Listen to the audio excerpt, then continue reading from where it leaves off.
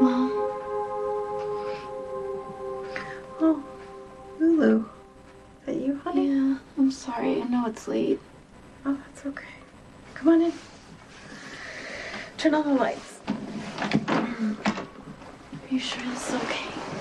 Yes, it's all right. I was awake a lot, too. I was thinking about you.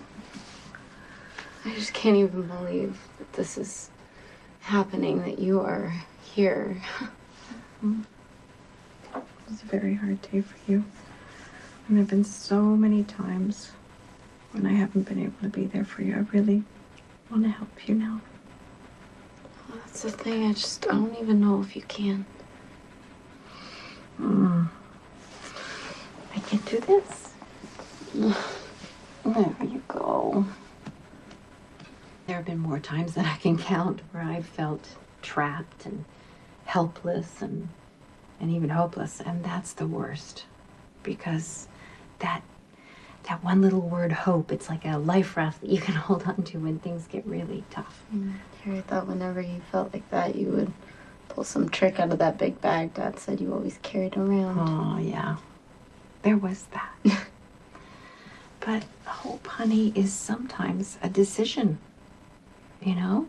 It's a state of mind and, and of heart. Well, mine kind of doesn't work together well, or at least when it should. You know, I listen to you and sometimes I just shudder because you're so hard on yourself. Hard on myself. Yes. Look at what I've done to Logan, to Johnny, to me, and they weren't my first casualties. And they probably won't be your last. You know why? You're human. You make mistakes. We all make mistakes, honey, and that's good. That's how we learn. It's true. It, it, oh, I wish there was some way I could give you perspective. And hope. You know about the time that I was held captive by the Cassadines on that island, right? By that horrible man who called himself Nikolas's father. It was one of the worst times in my life. All I wanted was to go home and to see Luke.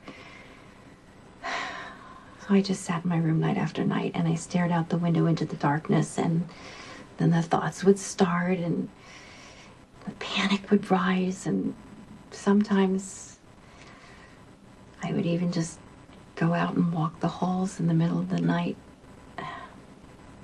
But no matter where I started, I always ended at the same spot Where?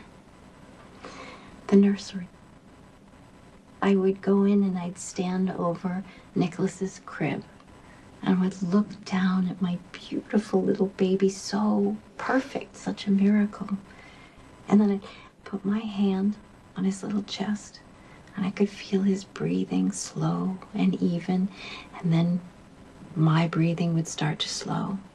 My heart would stop pounding out of my chest and a peace would just sort of wash over me. And I felt hope.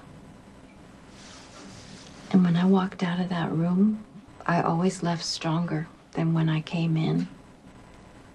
Because I knew that Nikolas was a blessing to me, but I didn't realize then how much.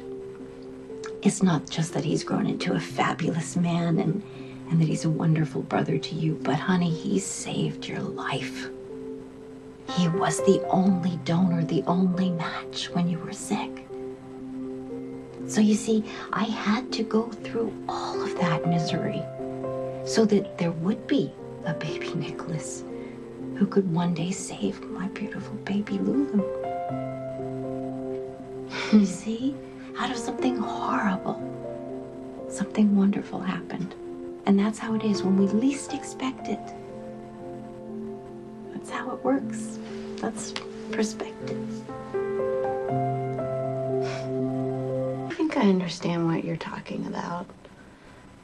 As awful as everything has been, it still got me in this place right when you were waking up.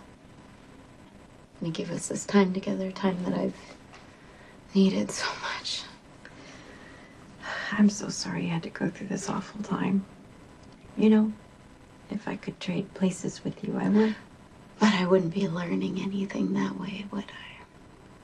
That's Mm. it. That's right. You heard me that time. good, good. I'm proud of you. I don't know what for. Because you're handling this all so much better than you realize. And I wish I could take the credit for it, but I can't. Oh, come on. I know you don't listen to me very often.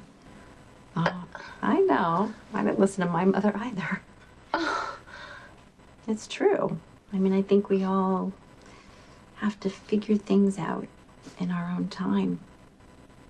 And you're doing that now, and you will do it more and more often, with or without me. I'm always gonna need you, Mom. And I will always love you, my precious little daughter. Honey, don't tell Grandma that I didn't listen to her.